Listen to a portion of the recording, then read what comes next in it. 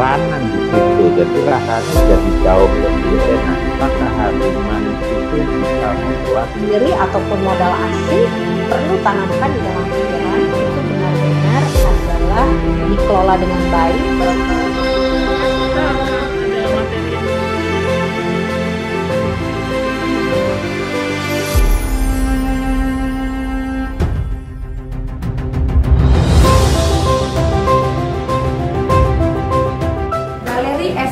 UMKM Center.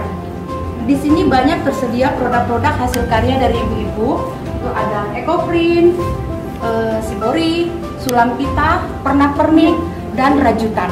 terus eh, akan apa dikembangkan digali dan saya sangat bersyukur mengenal masuk ke komunitas ini.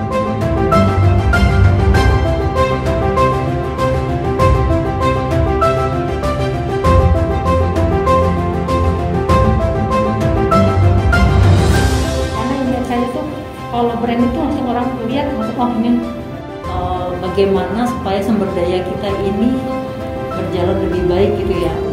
Dan yang dijual via reseller itu harus terpisah. Dan harus memiliki mekanisme perhitungan